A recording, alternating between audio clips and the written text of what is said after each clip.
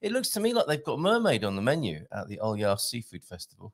No, there should be a law against it, and there probably is.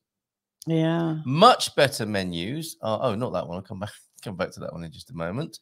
Um, we have uh, Dan sent in the menu for Sunday, Oh, fantastic. which um, we we had a chance to influence. So I'm not sure if any, any of the gumpers, yeah. Um, oh, we found out another uh, meaning of the, for the word gumper yesterday, which we're not at all happy about. Seriously, what's that? And I can't tell you.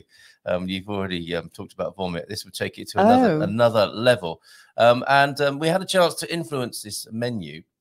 I don't know if anybody did. Oh, when we're zoomed out that far, we can see a dangly wire. Can't have that, can I? I've got to zoom in a little bit more. Or move the camera a little bit. Should I do that? Yeah, move the camera. There we go. There we That's go. better. All right. Um, so Dan said. Instead, uh, now we see it a little bit of kombucha on the other side. Who like doesn't a- like to see a little bit looks of like a kombucha little. first It looks like a little sample of urine. There's on the- always something that looks like a sample in this room or kitchen. because of you. Um, creamy. Cajun pasta Alfredo. What is pasta Alfredo? Do you know? I have no idea. Okay, that's prepared two ways. Either Sounds like some like pasta with Frodo, you know, from. Lord oh, you like al fresco Alfredo? Yeah.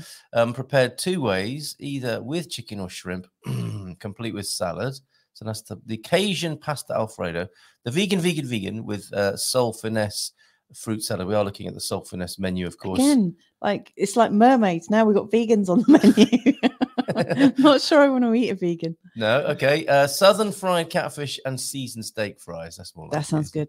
Uh, southern fried chicken. We do love the food over there. Southern fried chicken wings and seasoned steak fries.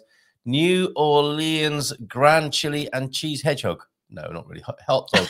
hot dog, not hedgehog. And look, strawberry bundt cake. I don't know what that is, but if it's anything like her strawberry cheesecake, That was good. which was lovely, wasn't it? Um, that would be ma- magnificent. Um, I did see in preparation on social media uh, some vast vats of uh, mac and cheese. That's Soul Finesse's signature mac and cheese. Mm, If you're missing your American comfort food, pop along to uh, yeah. Pit Stop in uh, San Martino on Sunday. Yeah, we did know somebody who um baked hedgehog, didn't we? We we met up with um Proper job. Was it Alex? Alex who used to work at uh, Hannah's.